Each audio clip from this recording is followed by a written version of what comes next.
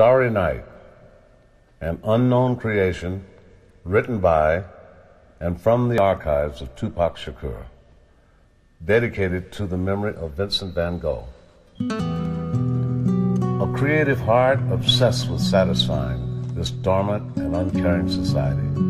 You have given them the stars at night, and you have given them bountiful bouquets of sunflowers. But for you, there's only contempt.